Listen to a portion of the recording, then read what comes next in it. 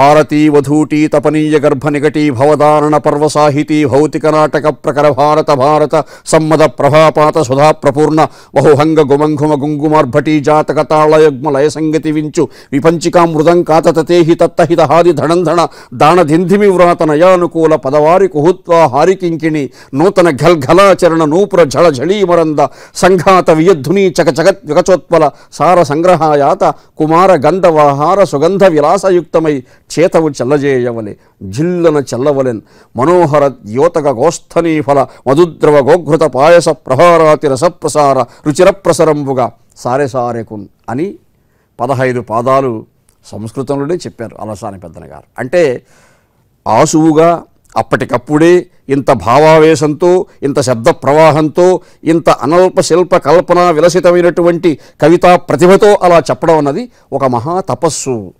ఆ తపస్సు ఎవరికి సిద్ధిస్తుంది అంటే భగవంతునికి శరణాగతి చేసినటువంటి భాగవతులకు మాత్రమే సిద్ధిస్తుంది.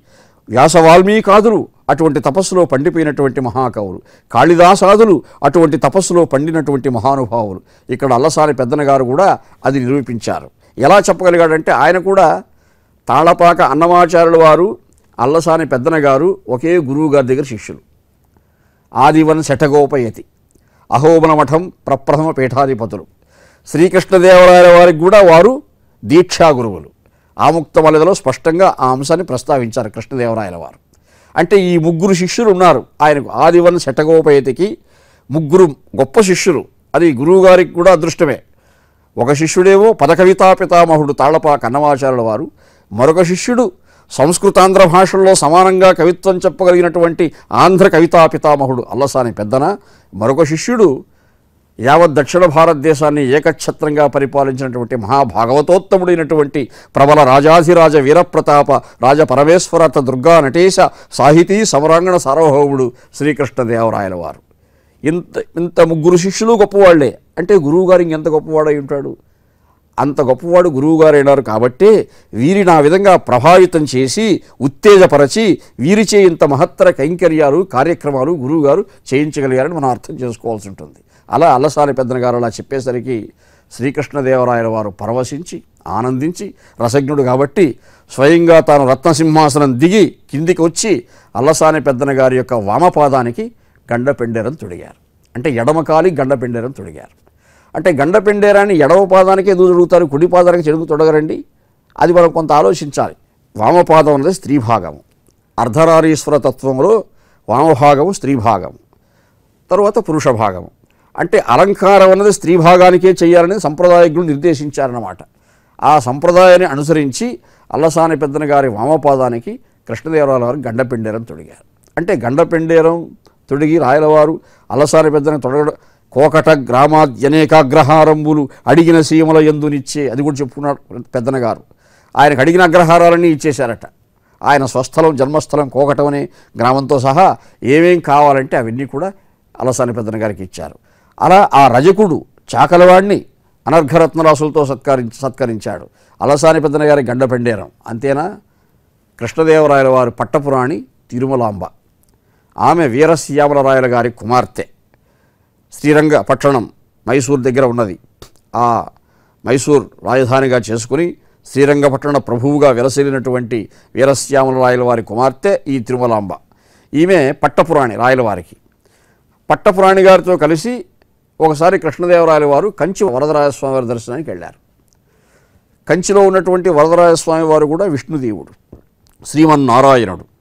కృష్ణదేవరాయల వారు ఆయన వైష్ణవ సంప్రదాయంలో నిష్ణాతుడు కాబట్టి ఆ దేవదేవుని సేవించడానికి సభక్తికంగా శరణాగతితో వెళ్ళాడు అక్కడికి.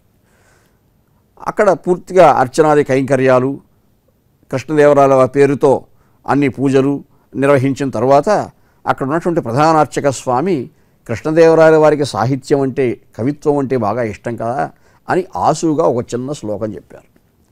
కాంచిత్ కాంచన గౌరాంగి వీక్ష సాక్షాదివ స్త్రియ వరద సంశయాపన్నో వక్షస్థలం అవైక్షత చిన్న శ్లోకం చెప్పాడు. అది విన్నటువంటి శ్రీకృష్ణదేవరాయల వారు ఆశ్చర్యం ఆనందం. ఆయన ఆ రెండు గుణాలతో పరవశించిపోయాడు.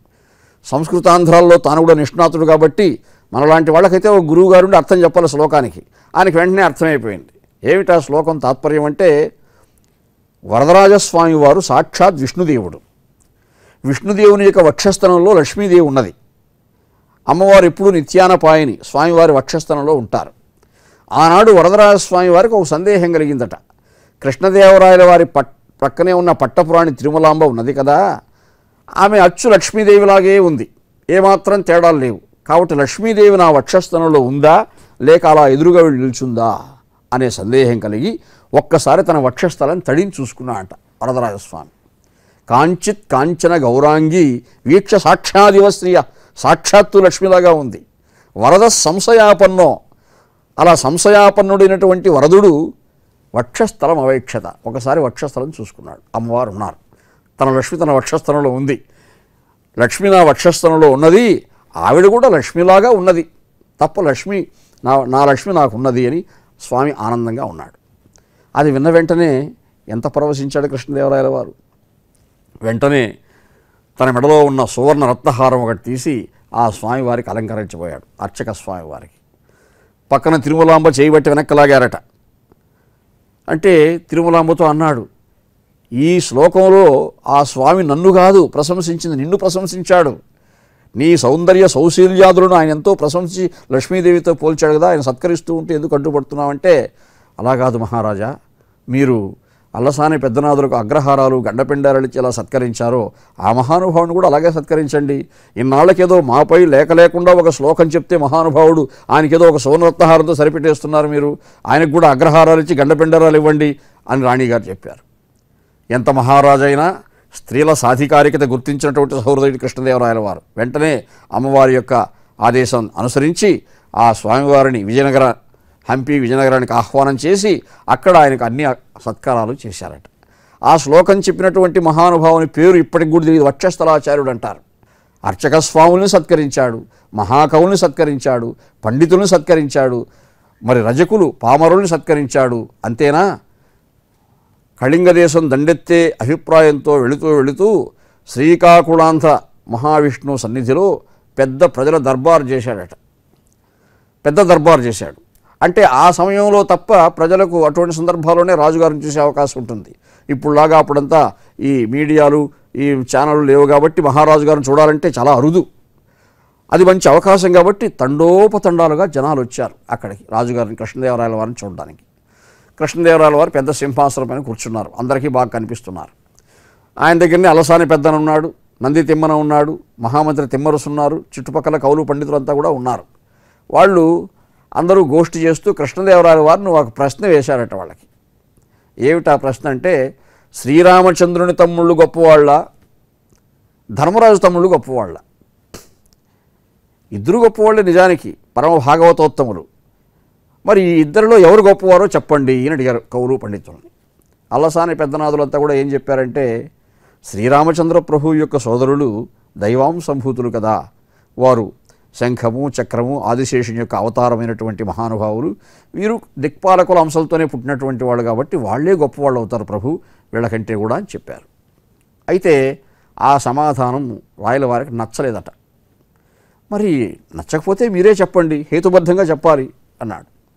అప్పుడు రాయలవారు చెప్పారు అయ్యా శ్రీరామచంద్రుని యొక్క సోదరుడైనటువంటి భరతుడు లక్ష్మణుడు శత్రుఘ్నుడు గొప్పవారే అయి ఉండొచ్చు కానీ బలపరాక్రమాదుల్లో ధైర్యస్థైర్యాదులలో రాముని కంటే గొప్పవాళ్ళు కాదు.